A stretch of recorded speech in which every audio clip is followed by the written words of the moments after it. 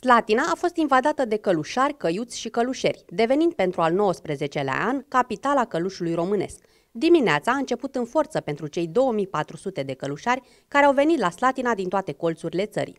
Aceștia au mers în vizită la câteva instituții din oraș și după ce le-au jucat neaoș românește, fiecare ceata a făierit gazdelor un dar și cum moltenii sunt gazde primitoare, la rândul lor au primit bucuroși călușul și le-au răsplătit cum se cuvine. Primii vizitați au fost cei de la inspectoratul școlar, de altfel și unul dintre organizatori.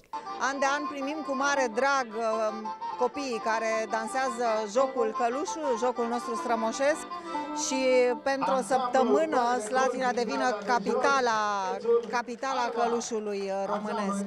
Suntem extrem de onorați de acest lucru și, așa cum spunea și domnul director al Palatului Copiilor, uh, se pare că sunt alungate ducurile rele din curtea inspectoratului nostru. Următorii pe listă au fost cei de la conducerea orașului, ca mai apoi să vină rândul celor care cârmuie județul. Superb, extraordinar spectacolul de astăzi. De fapt, din dimineața aceasta, diseară o să avem într-adevăr punctul culminant, atunci o să fie spectacolul uh, de cartea recordurilor, să zicem așa.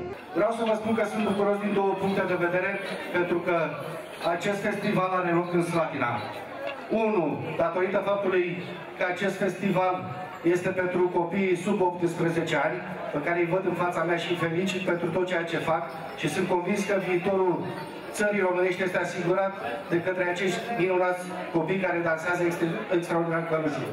Și doi, pentru faptul că acest festival se desfășoară în Slatina, în Oltenia, deoarece eu consider că Oltu este capitala simbolică a călușului românesc. După parada portului tradițional, călușarii vor încerca să doboare recordul dansului tradițional. Ne pregătim pentru parada portului popular care va începe la ora 18, iar de la ora 19, Dumnezeu cu noi, să intrăm în Cartea Recordurilor.